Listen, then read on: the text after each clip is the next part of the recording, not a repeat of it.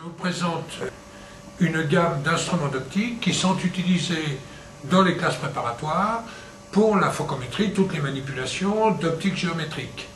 Vous avez euh, disposé sur un bord d'optique placé sur des cavaliers, euh, successivement un collimateur, une lunette de visée, une lunette de visée pourvue d'un système d'autocollimation, un viseur à frontale fixe et une lunette qu'on pourrait appeler lunette numérique puisqu'elle est constituée de l'association d'une lunette et d'un système d'acquisition optique. Nous allons vous décrire euh, chaque appareil euh, succinctement. Le collimateur tout d'abord, qui est pourvu d'un système de tirage de l'objectif,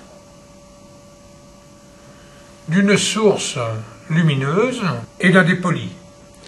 Le collimateur permet donc de réaliser une source à l'infini. Ensuite, une lunette de visée avec l'objectif et l'oculaire.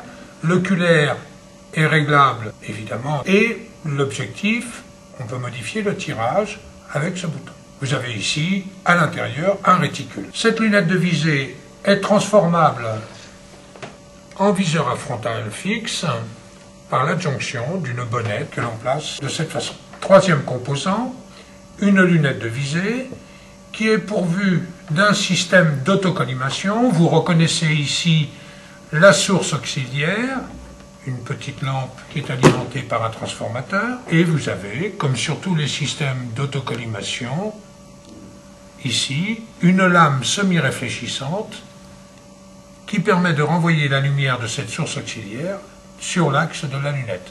Cette lame semi-réfléchissante est escamotable. Ensuite, l'oculaire, qui est réglable évidemment de cette façon, pour voir net un réticule positionné au moyen de cette bague et le tirage de l'objectif qui permet de rendre la lunette afocale. Cette lunette est également pourvue d'un réglage d'horizontalité. Autre composant, nous avons ici un viseur à frontale fixe. Ce viseur a une frontale de 15 cm que l'on peut modifier en modifiant l'objectif.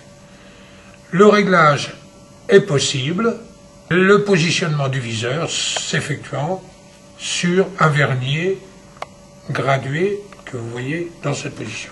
Et vous avez évidemment ici le réglage de l'oculaire. Et enfin, notre euh, lunette avec capteur informatique.